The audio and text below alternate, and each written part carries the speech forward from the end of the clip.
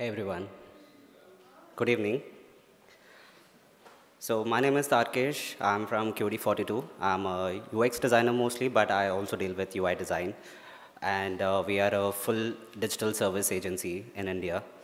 And today I would be talking about designing for privacy, where you balance your user needs and data security. And we will actually find out how one could balance both of them without compromising the UX of a digital product. And uh, a small disclaimer also, uh, I am speaking for the first time outside of India, and uh, I might stutter at few places, so please bear with me, okay? So the content, basically what we'll be covering is uh, what is data privacy, uh, you know, most of the people have different perceptions of what data privacy is actually about. And uh, we would be also speaking about user expectations of digital products and uh, how to balance user needs and privacy. So in here, this particular section, I would be talking about a case study for UNICEF LAHA. So it's an initiative. So LAHA is a virtual safe space. It's an initiative by UNICEF uh, which aims to support uh, you know, gender-based violence in emergencies, so victims of gender-based violence in emergencies, and uh, how we have actually built out a feature for LAHA. And uh, so in this particular case, uh, we had uh, a very different or, you know, exceptional uh, pain points from the users of Laha platform, and it's only for girls and women in conflicted areas. And uh, we'll, I'll also uh, tell you about how we have actually found that balancing factor between uh, data privacy and uh, still maintaining uh, and tackling the user needs. So without waiting any further, I would like to get started. And I would like to have a few minutes, uh, so I'll let you read uh, how users perceive uh, what data privacy is.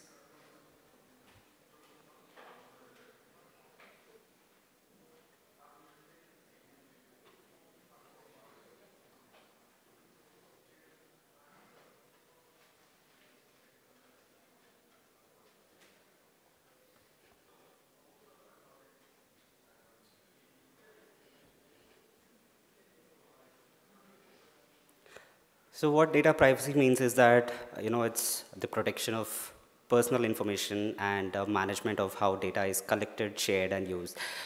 So one thing we have to keep in mind is that uh, we are speaking in terms of UX right now, and from design point of point of view here, uh, it's not only about how data is collected and stored, it's all about how you also ask for the personal information or uh, you, how you're informing the users how the data is going to be shared and used across.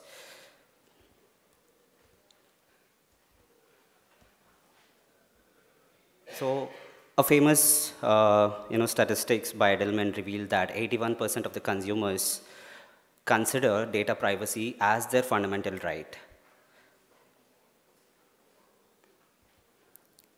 And uh, there's also another statistics which says that, uh, you know, it's from Global NGO Technology Report, which says that 92% of the NGOs right now are uh, concerned about their data privacy.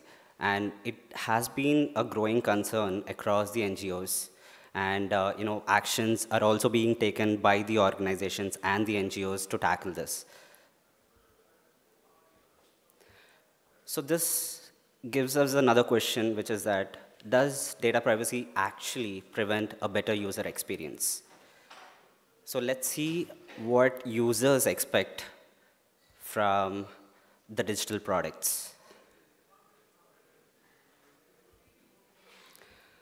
So all that user needs, users needs is that they want usable products which are reliable, fast and performant, accessible, and which are personal and contextual as well. So as we all know, all these factors make a good user experience. But one might be actually thinking, what do these factors have to do with the user data? So now we can actually relate, you know, the search suggestions which you usually see in Google and any other search engines, they actually use all your personal user data, which will enhance the user experience and make it more efficient. And this is how uh, usually, uh, you know, organizations use the user data to enhance the user experience. And another example is that accessibility features also can be enhanced with the user data, such as you know, themes and color schemes and sizes, which help uh, in increasing the accessibility or maybe personalizing the accessibility uh, for the digital products. And there's also personalization, which is a major feature where every other digital product builder will actually rely on the personal data or the user data, such as you know, providing specific locations uh, and uh, building more, more contextual information and uh, personalizing blogs and content based on their uh, user interests and data.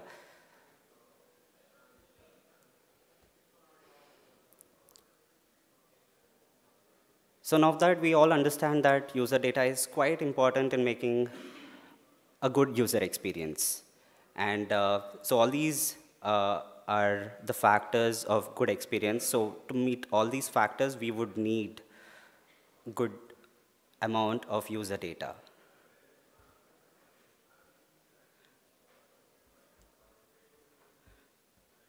But can we actually meet the user expectations? without having to compromise on the data privacy.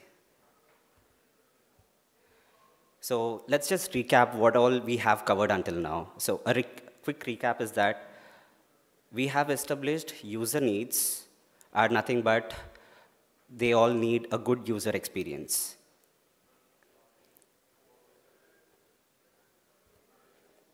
And we have also established that for designing a good experience, we will need some kind of, or some amount of user data. And we've also, you know, perceived from the statistics and uh, growing concerns around the privacy is that uh, users are actually uh, considering privacy as their fundamental right as well. Hence, to satisfy the user needs, we have to you know, design experiences which doesn't compromise the privacy of user data. But how do we actually design experiences which satisfy both the user needs and data privacy concerns?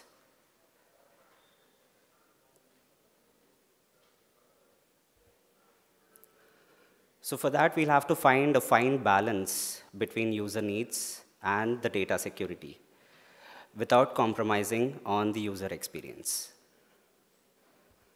So I will actually tell you how did we find that balance while we designed a user forum for LAHA. So LAHA is uh, what I've mentioned earlier. So it's a UNICEF's initiative to find gender-based violence in emergencies. So before jumping into how uh, the nitty-gritties and uh, how we have actually designed the forum, I would like to tell a few words about what LAHA is actually about. So LAHA is a safe space for women and girls, and it aims to provide information and services on sexual, reproductive health, and gender-based violence. And it aims to you know, promote all these resources for women and girls in a very safe, culturally appropriate, and accessible to adolescent girls and women. And it also has information in a very fun and creative and a positive ways. So the challenge is that we had to build a user forum to find support, ask questions, and seek answers and services. Because until now, what LAHA does is that it's just one-way communication. So UNICEF usually puts up the resources uh, on LAHA platform, but there's no two-way communication right back from the users. So hence to tackle that, we had to build the user forum which we have envisioned to kind of give a peer-to-peer -peer support through the platform. And uh, what was our approach was that, you know, it's, we started off with the design process, which is uh, the user research. And uh, in the user research, we've done some desk research about, and uh, we've kind of understood what kind of users are we designing this for. And so we've conducted some workshops uh, with you know, the stakeholders of UNICEF and as well as uh, with the uh, users as well, the prospective users. And uh, goals, we, we also understood that uh, what goals, uh, short term and long term, UNICEF wanted to achieve with the forum.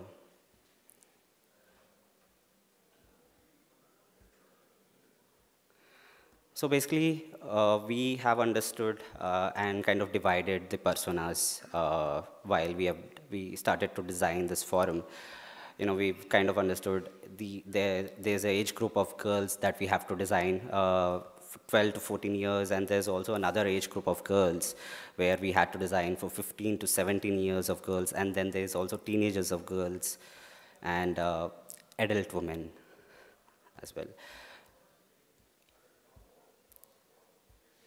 Now, so having understood all this during the discovery phases, you know, then we started out with uh, conceptualizing the features for all personas. And basically, we have started with the wireframes. And uh, this is a prototype which you're seeing right now. And uh, you know, after putting down all our ideas uh, based on our findings uh, and the wireframes, we have actually tested out with interactive prototypes in Lebanon and Venezuela. So these are, uh, you know, the prototypes that we've built and we built in multiple languages so that we still maintain relatability with the users. And so based on our testings from the real users, uh, we've kind of iterated uh, the designs, and it's still ongoing uh, project right now currently. We are in phase two, which we are still iterating uh, with the forum users.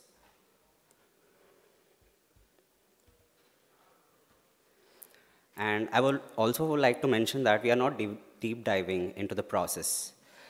So I'll be covering mostly the insights about the data privacy and the user experience expectations of the platform. So the main insights, what we got was low digital literacy users. And uh, since we are actually dealing with the users who are from conflicted areas, and uh, they don't have a lot of digital literacy uh, using uh, digital platforms and we also had to deal with uh, you know very low internet connection. And we had to deal with uh, so these were the major pain points of the users. And another important pain point is that confidentiality of the users. Because we are trying to give support and information to the users or the victims which who are, uh, who are you know, uh, actually took some actions against uh, gender violence, uh, gender-based violence in emergency.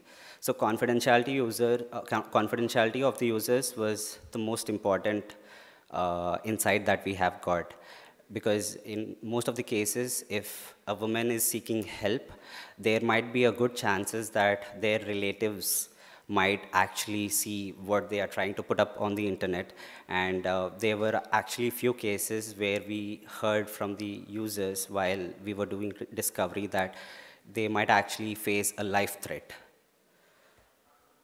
And uh, due to the nature of the product, that is Laha, usually sensitive topics are discussed.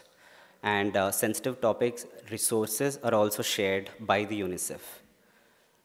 And there's also a good amount of chances that there'll be unsafe device usage as well. And there'll be also abusers of the platform since this platform only caters for girls and women. Now, based on all these major insights for related to data privacy and the user experience, I'll be sharing a few features that we have designed uh, which can tackle uh, these insights. So this is how we've actually designed the forum to be. So for tackling the low digital literacy users and confidentiality of the users, we've kind of gathered zero personal information. But you know, all of you might be wondering actually, how did you even manage to design and build a forum without using personal data? So we started off with, you know, ideating on how we could actually solve this, you know, keep the confidentiality of the users, but yet give a peer-to-peer -peer experience. So we thought, you know, we can actually use random names. And Drupal has really helped us here. Uh, we have customized the user registration process of Drupal and to process and prioritize the user anonymity. And we've also considered the challenge of account recovery here. So because since we are not having any kind of personal data which is being taken, neither emails or neither uh, mobile numbers, so how, so we had a challenge of how to actually recover an account when, in case a username is being forgotten. So we came up with security questions. So that was quite simple yet effective. So we have built up a set of security questions at the Drupal backend, uh, which could be used uh, across uh, various domains because Laha is actually personalized for countries and regions and uh, based on different ethnicities as well. It's not a single domain that we are using all across the world. So it is actually customized for country-specific needs.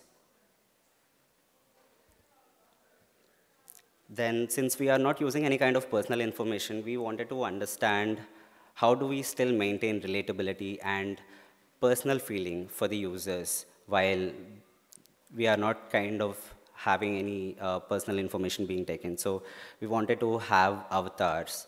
So avatars could be customized uh, based on the countries and the ethnicities as well.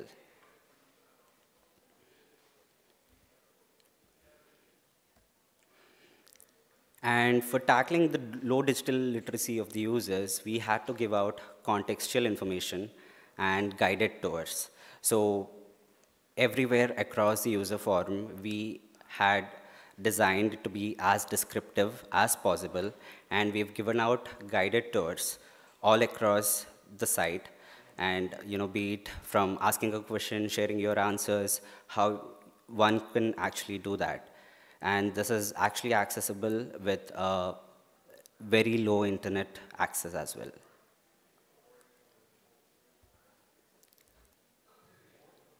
Now, you know, most of the websites you see or the platforms, uh, they have a very small checkbox saying that, you know, you can read our policies. But it was not this case uh, for this platform especially because we have to educate uh, our users about what were the policies and uh, we have actually embraced these policies. So we've given out uh, on the homepage and all across while registering as well what uh, were the policies. And uh, we have actually informed the users. Uh, and uh, we were actually very transparent as well while we, while we wanted to build trust within the community.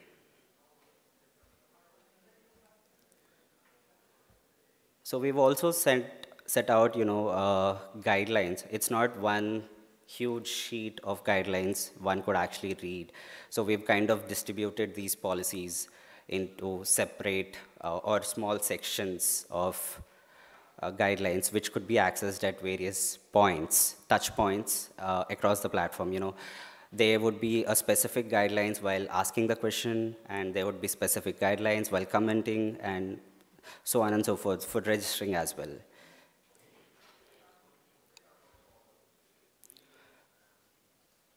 Now, since we are dealing with sensitive topics, and we also wanted to maintain the confidentiality of the users, and we also had a threat of there would be perpetrators of abusers. Hence, we set up a very robust moderation policies. So every comment, every question that would be posted from Laha would be first moderated. And these moderators would be from UNICEF who would be going through every question and comment before it is being posted to the public. And you know, one of the example I've shown you here is how the dashboard for the users would be looking. So this is, a, this is one of the questions which could be you know, in review and uh, questions which are rejected. And we also embraced why was it rejected and how could uh, such a question could be published by giving out uh, certain factors which could help them in coming up with the question or rephrasing their question. And we also had reporting as a feature because you know we also thought there might be few instances where moderator could actually miss a certain question or a certain comment which could be uh, threatening for someone else. And that is why we had come up with reporting and uh, we wanted to swiftly address these privacy concerns and enforce the community guidelines with the reporting system. Now that I come from a design background, I'm not so much into Drupal technology, but uh, we kind of understood how Drupal could be used to further enhance all these security processes that we could do. So we've used text processing and filtering of Drupal, so which was actually instrumental in you know eh, finding the sensitive words and eliminating these sensitive words, and these could be flagged at the moderator's admin. Now, these are few security modules we have used because uh, there was also a concern where, uh, you know, there, uh, the session limit has to be uh, tweaked. It's not like every other website, you know, you still maintain a session. So we've used uh, session limit settings. Uh, we've also used SecKit, that is security kit. And we've customized all these settings to enhance the user experience, yet balance the privacy concerns of the users. So these were, uh, you know, few features we've used uh, across uh, Laha user forum. So it's not very difficult to, you know, to balance the data security and the user needs as well. So all we need to understand is this. User needs are nothing but they need a great experience. And we also understood that we need some amount of user data while designing for a good experience. Hence, from a simple math equation, we can safely say that user needs can be balanced when you design keeping the user data in mind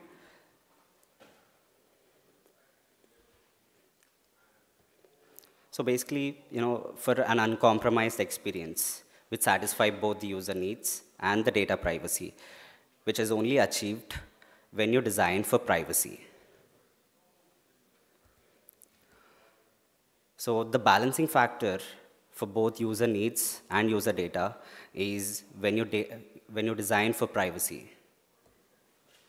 And basically, privacy shouldn't be an afterthought. It shouldn't be like, you know, after testing out, you know, there are some privacy concerns and we have to go back to the design or drawing board and we have to figure out how to solve that.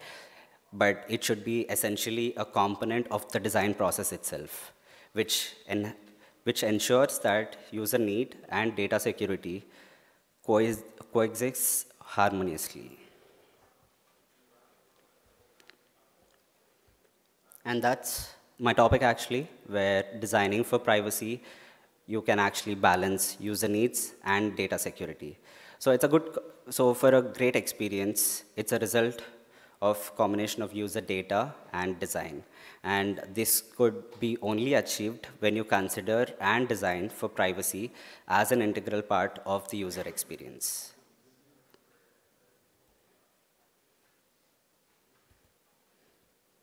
So that is my session actually. I would like to answer any of the questions you have, guys.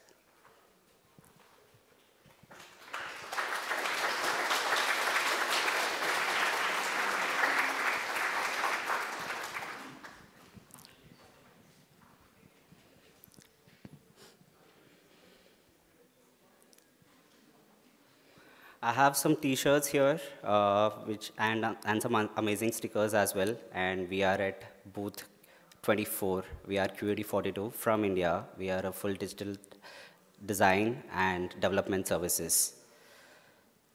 And if you guys have any other questions or related to tech and wanted to know how the tech was implemented, we would be more than happy to answer at our booth.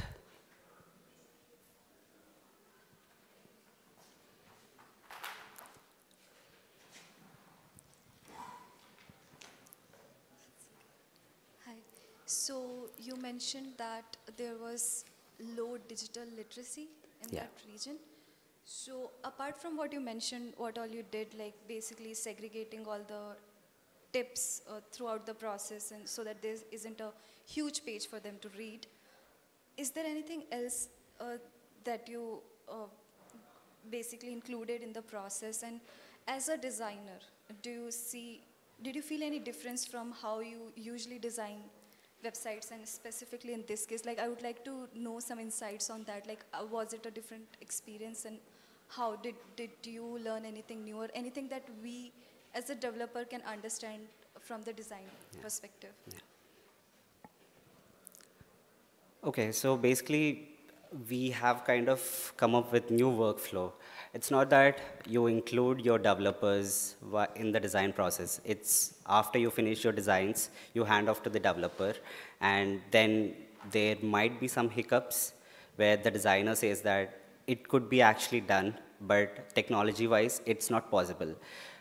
Hence, to tackle that, we have actually used the design, uh, the developers' instincts and uh, feasibility checks right from the starting of our design process. So while we have envisioned certain features, we also wanted to make sure that it's actually quite possible with Drupal or any other technology. So that is how we've kind of maintained relatability of what we are envisioning and is it really possible to build the features.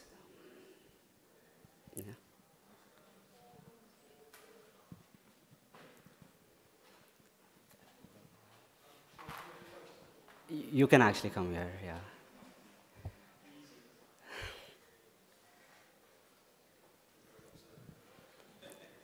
It's a very short game. Hi. Yeah, thanks for the talk. It was great. Um, so I just had a question really about um, uh, the clients, effectively, in this case, UNICEF, right? Yeah. Um, have you ever had to deal with situations where, say, for example, the client's KPIs are in conflict with the, the user's expectations of data privacy?